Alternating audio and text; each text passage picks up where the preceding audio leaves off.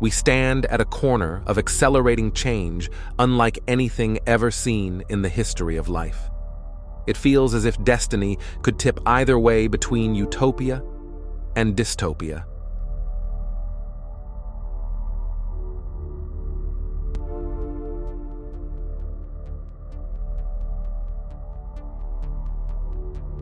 The risks we face are demoralizing.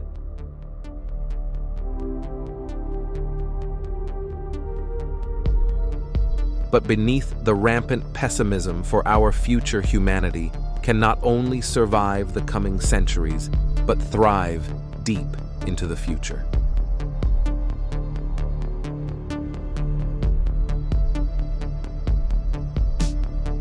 No one figures out what comes next. But there are three broad directions in our future could take. The first is the devastation. A major disaster threatens the destruction of civilization and possibly even the end of the human race. Second is plateau, where mankind averts collapse but hits an upper limit of advancement. And third is superiority, where humanity achieves its full potential multiplies into the trillions or transforms along the way into something completely unthinkable.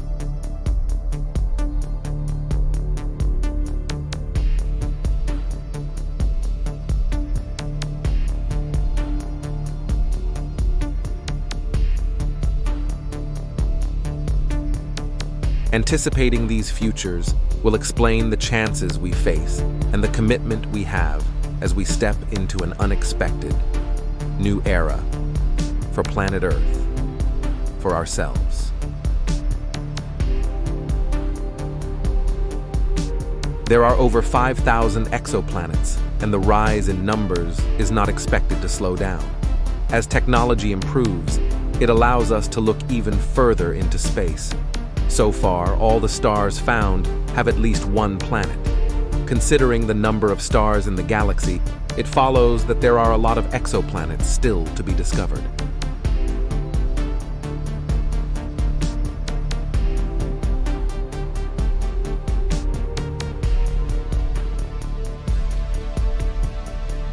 Exoplanets come in a wide variety of sizes, from gas giants larger than Jupiter to small rocky planets about as big around as Earth or Mars.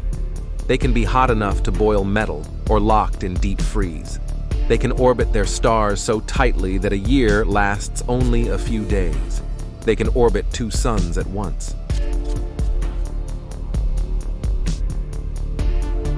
A surprising factor has started to present itself as we learn more about worlds outside the solar system. The universe is weird. Really weird. From worlds that rain iron and glass, to diamond worlds and planets that have escaped the grip of their parent stars, our burgeoning exoplanet catalog demonstrates that our solar system is reassuringly boring.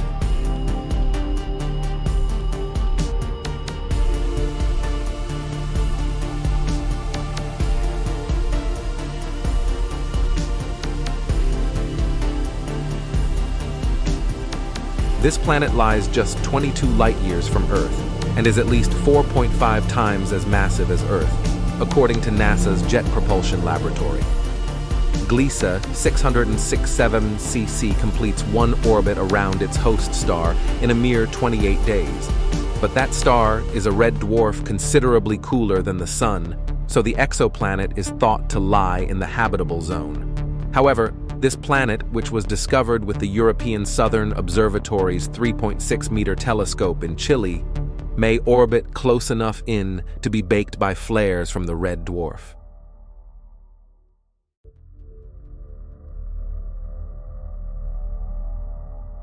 This planet lies 600 light-years away, and it was the first Kepler planet found in the habitable zone of its parent star. But this is considerably larger than Earth about 2.4 times our planet's size. It's unclear if this super-Earth planet is rocky, liquid, or gaseous. Kepler 22b's orbit of 290 days is pretty similar to Earth's 365. The exoplanet orbits a G-class star like our Sun, but this star is smaller and colder than Earth. Kepler-22 may be too far away for even the James Webb Space Telescope yet to say anything about the atmosphere of its planet. If Kepler-22b does have an atmosphere that provides similar greenhouse heating to the one produced by the Earth's atmosphere, then its average surface temperature is around 22 Celsius. However, if the greenhouse heating is similar to that on Venus, then the temperature is considerably higher, around 460 Celsius. The temperature on the planet's surface may vary considerably, depending on how elliptical the planet's orbit is.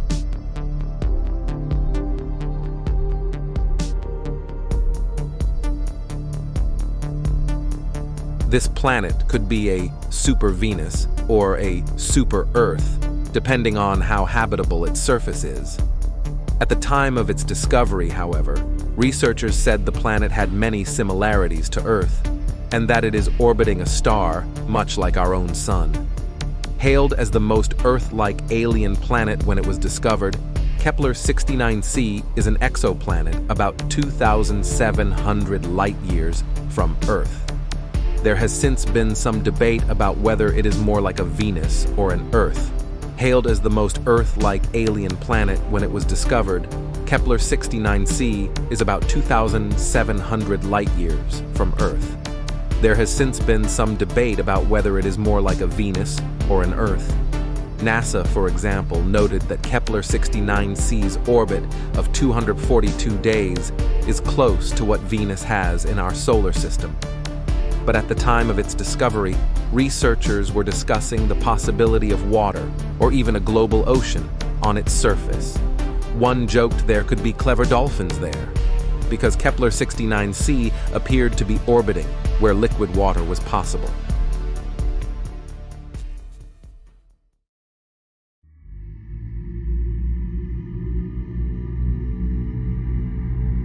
Scientists have discovered three potentially habitable exoplanets orbiting one star. But there are loads of hurdles that we'll have to clear before we ever have the chance to visit them.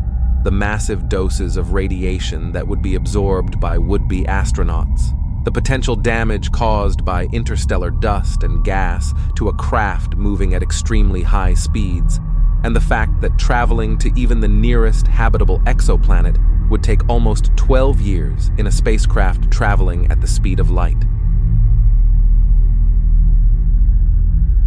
The biggest problem, though, might be the enormous amount of energy such a craft would require.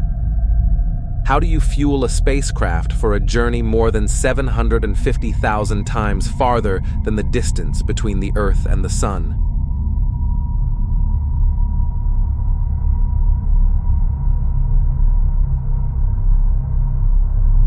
Humanity can one day zoom to distant corners of the universe via wormholes, as astronauts do in the recent film Interstellar.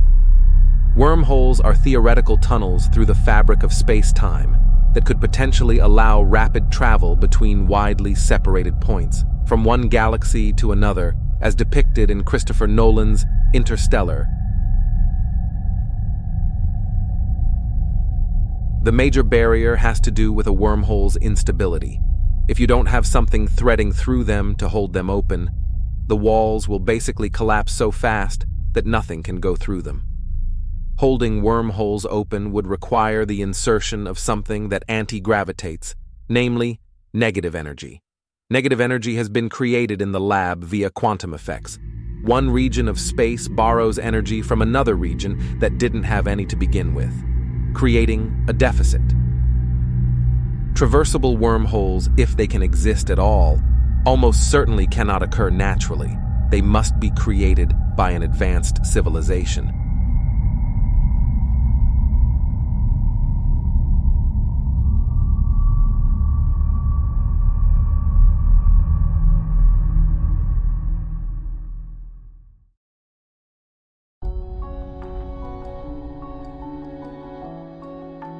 In the grand tapestry of our cosmic existence, the idea that humans could one day transcend the boundaries of Earth and colonize the vast reaches of the universe is a mind-bending and exhilarating concept.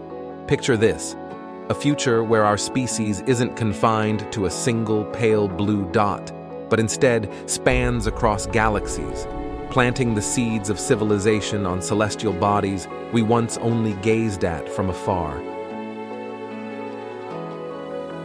The urgency of exploring space is heightened by the ticking clock of Earth's habitability.